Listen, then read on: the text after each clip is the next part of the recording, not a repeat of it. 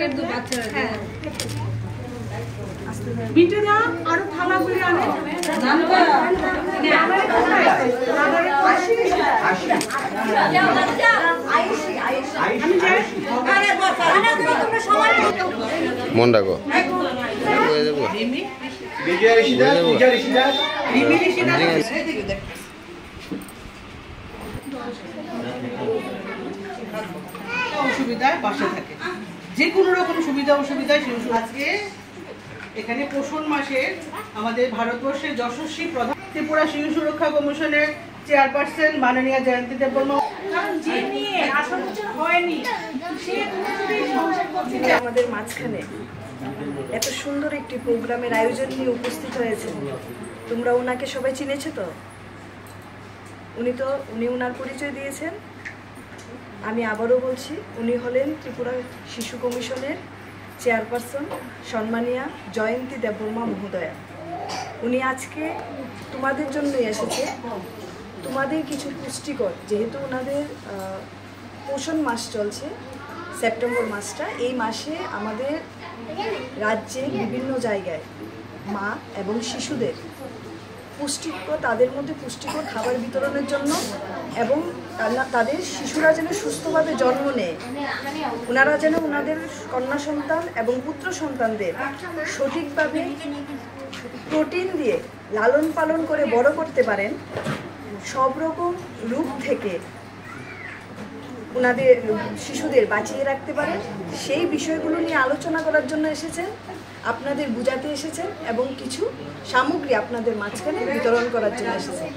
ওনার যে কমিশন রাজ্য সরকারের এই কমিশনের অন্যান্য যারা সদস্যরা এখানে সম্মানীয় দিদিরা উপস্থিত আছেন পাশাপাশি উপস্থিত আছেন আমাদের ওয়েস্ট ত্রিপুরার যিনি সিডিপিও বাবু আমি ওনাকে অনুরোধ সবাই জানি পোষণ মাস কাদের জন্য? বিশেষত ছোট ছোট শিশু এবং গর্ভবতী মা এবং বয়সন্ধিকালীন যে বাচ্চা, মেয়েরা আছেন, তাদের জন্য বিশেষ করে এই পুষ্টি আমাদের খুবই দরকার। কারণ আমরা যদি সুষম খাওয়ার যদি না খাই গর্ভকালীন অবস্থায়, তাহলে কিন্তু অনেক রকম সমস্যা দেখা দেয়। আর যে শিশু জন্ম দেওয়ার আগে যদি মার পুষ্টির অভাবে, বিভিন্ন খাদ্যের অভাবে যদি কোনো রোগে আক্রান্ত হয়, তাহলে কিন্তু অনেক অসুবিধা দেখা দেয়। জন্মের পরে আমরা অনেক সময় দেখি কোনো শিশু দেখতে পায় না, অথবা কোনো শিশু বিকলাঙ্গ, অথবা কোনো শিশু আছে, তার হাত পা সব কিছু সমস্ত ঠিক আছে, কিন্তু কথা বলতে পারে সেই রকম অনেকগুলি সমস্যা দেখা দেওয়ার একটি মাত্র কারণ গর্ভাবস্থায় সঠিক পোষণ না পাওয়ার জন্য। তাই আমাদের বাড়ির আশেপাশে যেরকম শাকসবজি বা বাড়ি ঘরে যেরকম ফলমূল পাওয়া যায়, সেটা দিয়ে কিন্তু পুষ্টির আমাদের শরীরের পক্ষে খুবই কার্যকরী এবং আমরা বাচ্চাদের ক্ষেত্রেও সেই রকম আমরা যেরকম শাক সবজি থেকে আরম্ভ করে প্রাণীজ প্রোটিন সব কিছু কিন্তু আমরা খাওয়াতে পারি। তারপরেও সব জায়গায় কিন্তু আমরা কেউ জানি না সঠিক পরিমাণ খাওয়ার জন্য এবং শাক সবজির যে কীরকম গুণ আছে, সেটা আমরা অনেকেই জানি না। তাই বিশেষ করে আপনারা যারা হবু মা হচ্ছেন অথবা মা হয়েছেন অথবা ছোট ছোট বাচ্চা আছে আপনাদের আপনাদের সবাইকে খেয়াল রাখতে হবে।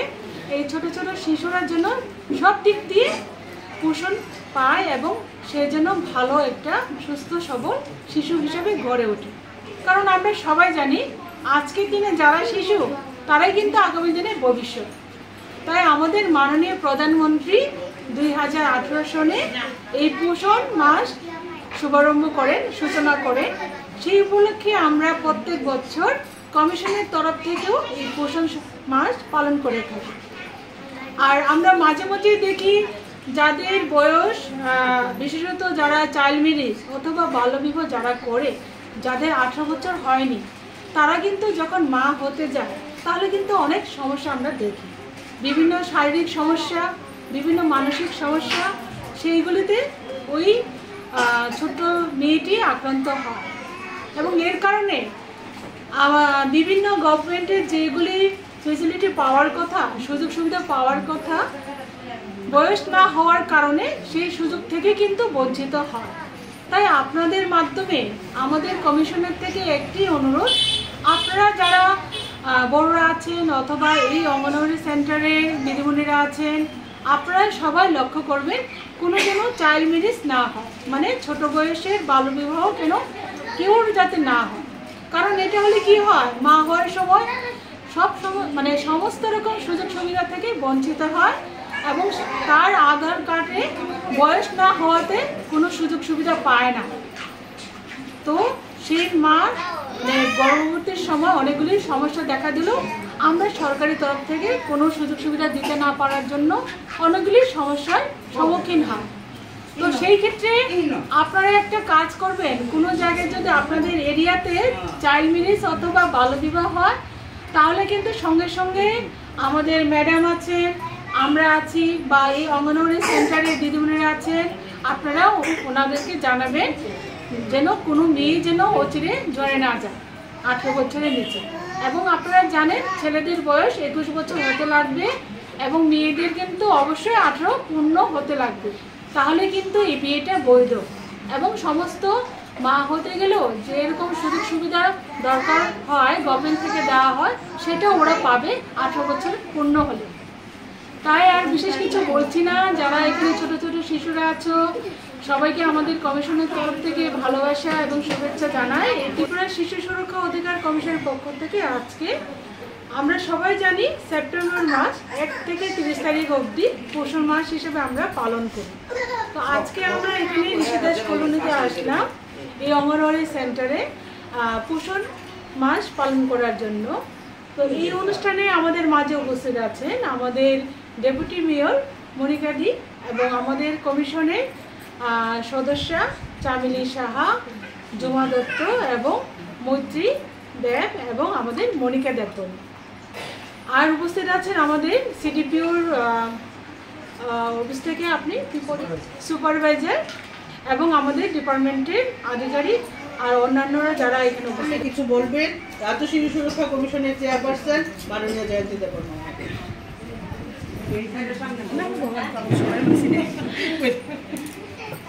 আজ তেরো নম্বর বিধানসভা তেতাল্লিশ নম্বর ওয়ার্ডে এক নম্বর এবং দুই নম্বর ঋষিদাসপালা যে অপরাধ স্কুল। সেই স্কুলের আওতায় যে মায়েরা আছে এবং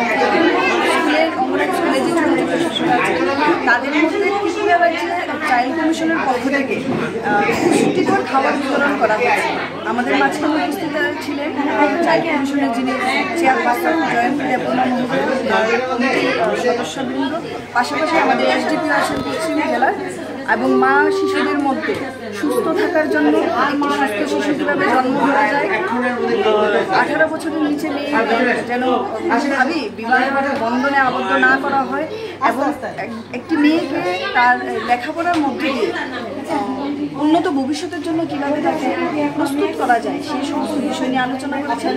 এবং সত্যি, আজ ঋষিদাসপাড়ার মা এবং শিশুরা অত্যন্ত আনন্দিত যে ওনারা এসেছেন এবং ওনাদের মাঝখানে বিভিন্ন খাওয়ার বিতরণের মধ্যে দিয়ে ওনাদেরকে বুঝিয়েছেন যে উন্নত ভবিষ্যতের জন্য পড়াশোনার পাশাপাশি পরিবেশও সুন্দর থাকা অত্যন্ত প্রয়োজন।